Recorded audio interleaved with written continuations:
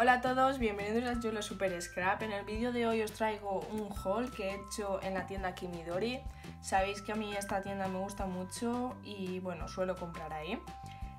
Como siempre nos traen un regalito y en este caso me han dado una blondita, un tag con su cuerda que es muy finita, una pegatina así con flores azules y esta tarjeta de Project Life. Así que muchas gracias. A ver, lo primero que os voy a enseñar es este troquel de la Unfound de números. La verdad es que me hacía falta. Era... Son caros, como sabéis los troqueles son bastante caros. Pero era una, una especie de inversión porque yo la verdad es que con el Project Life me como literalmente los abecedarios y los números. Así que si utilizo los troqueles me saldrá más barato. También me he comprado este rotulador Tombow que es en negro, es el número 15 y bueno, como sabéis de estos rotuladores tienen la punta en pincel y la punta más normal. La verdad es que ya lo he estado probando, si me veis las manos pues ya se nota que estaba intentando hacer cosillas y bueno, estos rotuladores más que nada se utilizan para hacer lettering. Ahora está muy de moda la caligrafía y tal, así que bueno, quiero practicar y a ver cómo me sale. Luego os voy a enseñar esta colección que es de Simple Stories, se llama Reset Girl y es para el Carpe Diem, para su planner.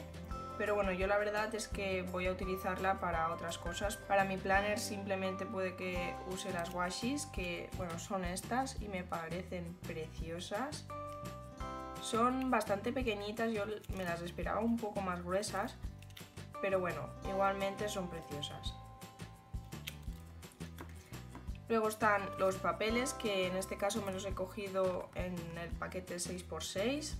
Vienen a doble cara y la verdad es que me gusta mucho la colección porque es así retro y con motivos así florales que están súper chulas también.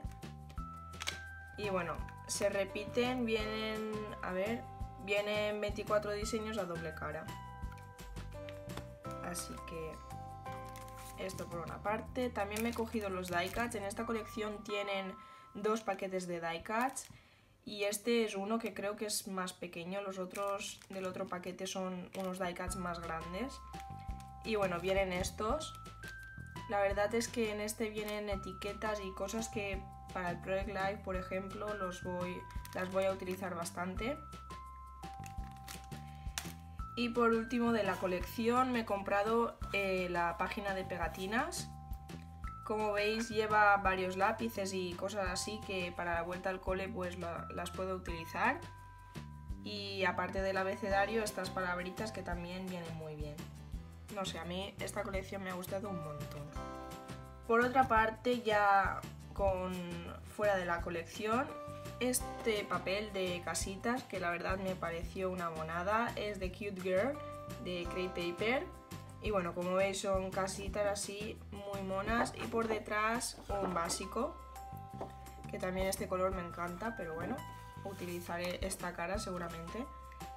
Y nada a ver qué hago con este papel. Y ya por último os voy a enseñar esta colección que es de Eco Park y la verdad es que me ha gustado mucho. Es un kit que me costó creo que 14 euros y la verdad es que lo veo que está muy bien. Eh, es bastante completo porque, bueno, aparte de venir todos los papeles de la colección, vienen las pegatinas. Y bueno, esta es la del alfabeto, que aparte del alfabeto vienen separadores y varias etiquetas de palabras y tal y esta que sí que son ya pegatinas más tipo de dibujos y de varios elementos. Y bueno, ahora os voy a enseñar todos los papeles que trae.